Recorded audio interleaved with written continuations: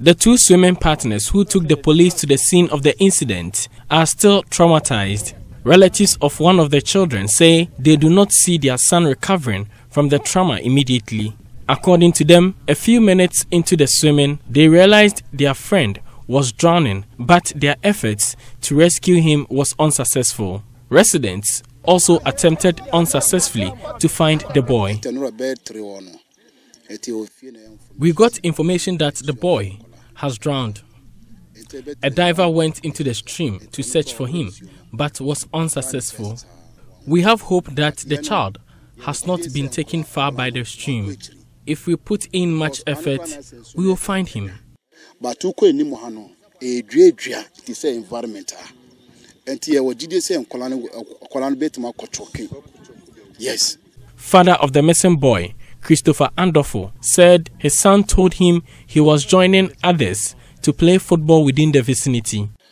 I met my son and the two kids, and they told me that they're going to collect a ball from their friend to come and play. Sometimes they play in front of the house, so I thought it is true that they are going to collect uh, the ball to come and play.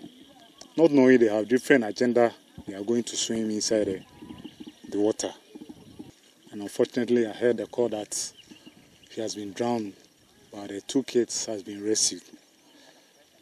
They tried to help my son, but their help was not enough, and they shouted for help.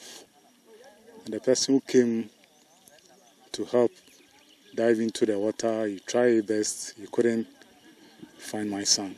The children walked for about 15 minutes to the stream, which is located in an area under development. Residents here say children from other areas frequently ignored warnings to swim in the stream. As part of investigations, police have been to the scene. The National Disaster Management Organization have also been here to assess the situation, but a rescue team is yet to be dispatched in search of the boy.